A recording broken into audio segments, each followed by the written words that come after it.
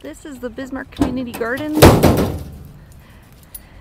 We went shopping today for our plants and seeds and supplies. We have a plot in there.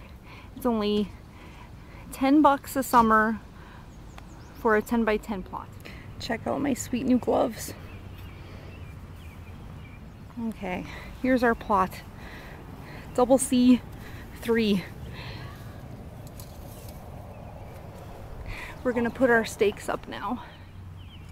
Four stakes in? Okay, so we've got two different kinds of corn. This is where the potatoes is gonna go. Down here we have sunflowers. Here we have peas and carrots. And over here is gonna be tomatoes and herbs. And we've got sparse little marigolds around the outside. It's getting good sun this evening now. Okay, so over there is the west end that we did earlier today. And over here is where you see the beefeater tomatoes, six plants, and the pear tomatoes, six plants.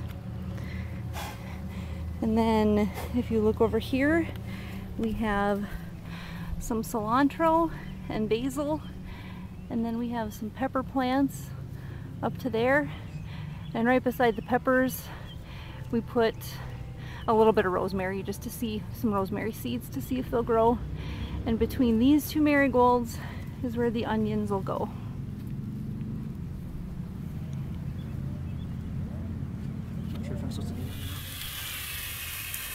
but the little sprayer we bought is junk. It's like impossible to control the water except for to turn it off and then make it like a fire hose.